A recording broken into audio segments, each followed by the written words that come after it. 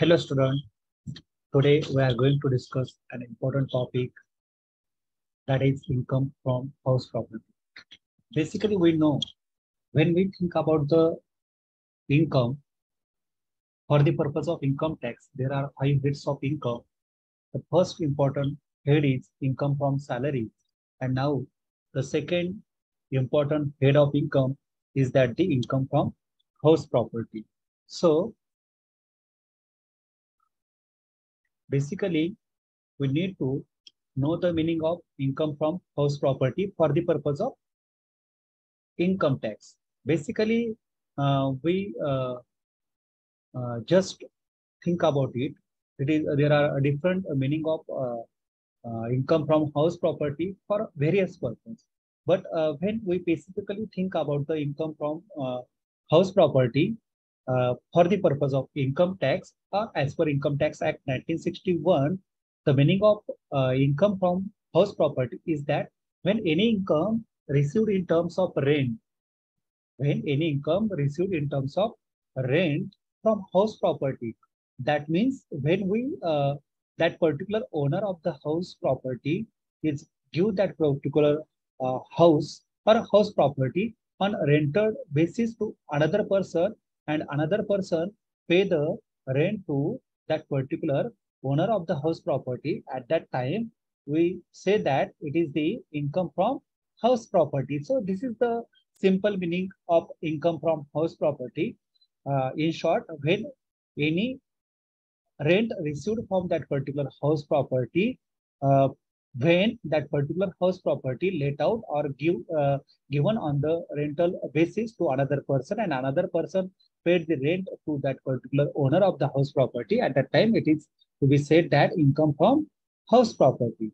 So for the purpose of income from house property, there are certain conditions. When we uh, said that that particular income is the income from house property, following condition must be satisfied for income from house property.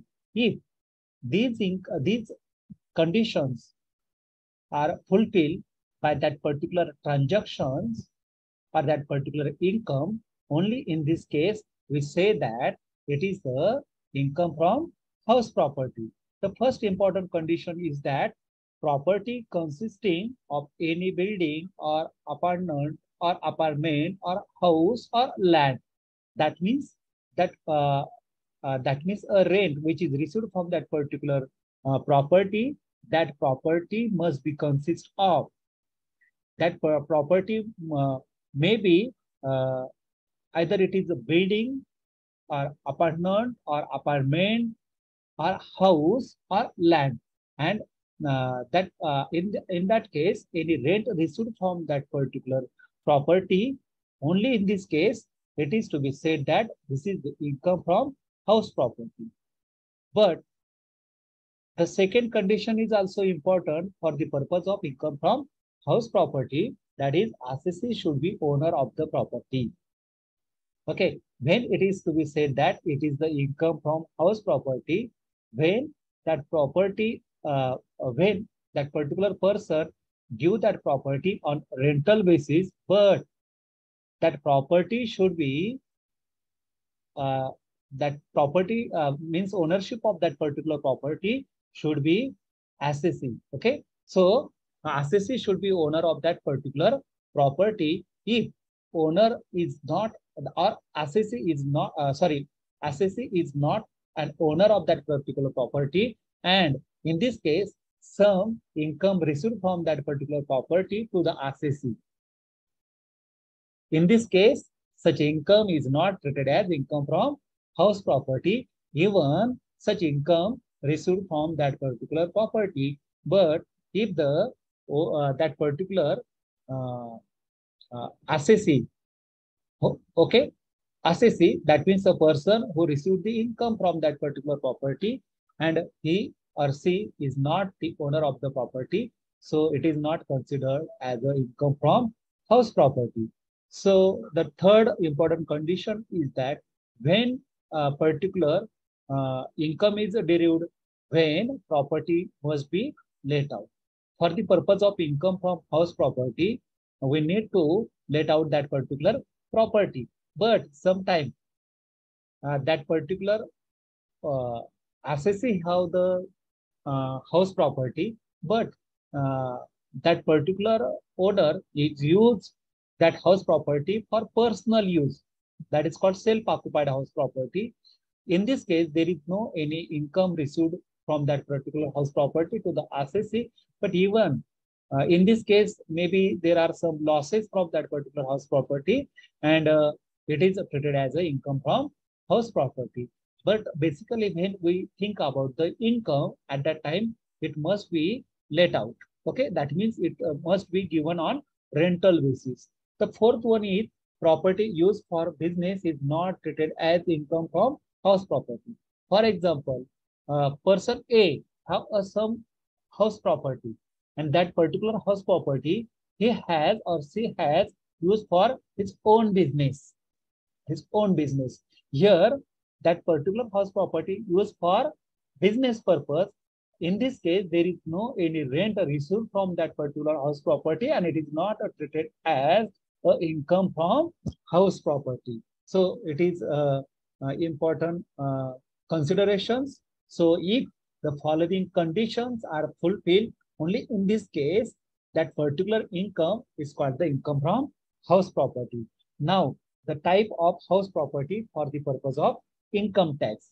When we uh, we uh, trying to calculate the income from house property, we need to decide the type of house property for the purpose of calculation of income from house property. And for the purpose of uh, calculation of income from house property as per the Income Tax Act for the calculation of income tax, basically house property are classified into three broad categories.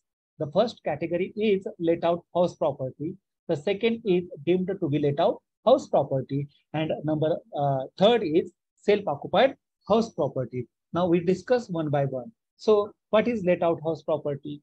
When any house property is given on rental basis to another person and another person paid rent to the owner of the house property, that means there is some income generated in this case from that particular house property and such house property is called the let out house property. See, a house property which is transferred for use in consideration of rent is called let out house property.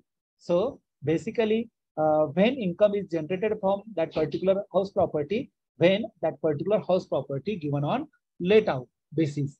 Okay, now the second type is deemed to be let out house property. Okay, basically, uh, uh, we, uh, when we think about the use of house property, there are only two possibilities. One is that that particular house is given on rental basis to another person. And in this case, we say that such a house property is called the let out house property. And second uh, chance is that that particular house property is constructed by that particular assessee and that assessee is the owner of that particular house property, but it is not given on rental basis, but it is used for personal use, for their family, for their residence. Okay, when that particular house property is used for their personal use, at that time, such house property is called the self-occupied house property. Okay, see, self-occupied house property is such a house property which is used for self-residence of the owner. So such property cannot earn any income.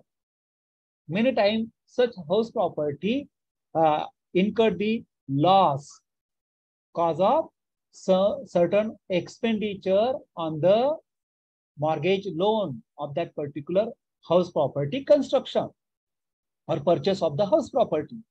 So valuation of self-occupied house property is always nil or minus. Okay. As per Income Tax Act, only any two houses should be considered. But there is there are limitations. If that particular owner or that particular assessee have five houses and all are used for self-occupied purpose. That means for self-residence of the owner. But as per the Income Tax Act, it is not considered, it is not allowed to use all the five houses, all the 10 houses, all the 15 houses, as per the Income Tax Act, for the purpose of calculation, maybe he can or she can use all houses for his residence purpose. That means all houses valuation is nil. No, income tax, as per the Income Tax Act, it is not allowed. So uh, that particular person have pay some or show some income uh, of that particular house property, but in, as per the Income Tax Act, the limit of self-occupied house properties are two. Okay, as per Income Tax Act, only any two houses should be considered as a self-occupied house property.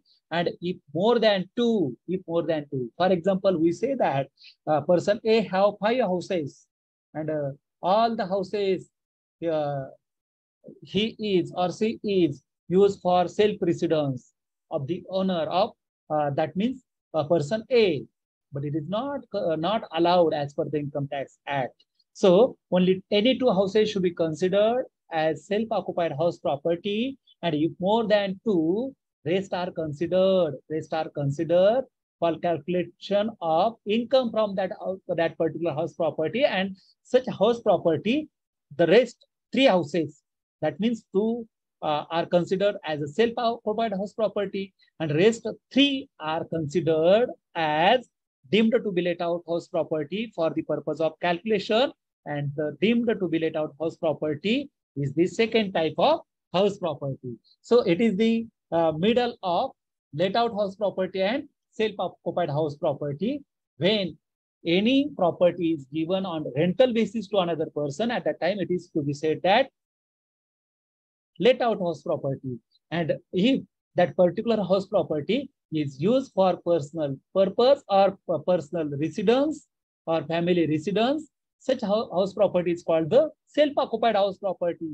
But for the purpose of income, uh, for the purpose of calculation, as per the Income Tax Act, only two houses should be considered or allowed for self-occupied house property if, if that particular person or assessee have more than two houses. So what about the rest? If that particular person A have five houses, two should be considered as self-occupied and what about the rest three? If that particular three houses are given on the rental basis, automatically it is considered as let out house property. But, but that particular person not given that rest three houses on rental basis, that particular houses are maybe vacant or maybe he uh, reside in that particular house property at that time, such house property is, uh, is considered as deemed to be let out house property. So according to income tax rules, if property holder own more than two residential properties, only two of the uh, those can be considered to be self-occupied house property. The other should either be let out, that means let out, or even if they are not actually rented out, if it is not given on rented basis, even not given on rental basis, that means not let out, they will be deemed to be properties that have been let out. In this case, expected rent. So in this case, we have to calculate the expected rent and the expected rent is the valuation of such house property. So in this case, expected rent is the valuation of such remaining house property other than self-occupied house property. So this is for two days. So from this lecture, we learn about the what is what is meaning of uh, income from a house property for the purpose of income tax act. The second is uh, some conditions which are which need to fulfill for the purpose of income from house property and types of house property for the purpose of income tax that is uh, let out house property. Second one is uh, deemed to be let out house property and last one is self-occupied house property. So thank you.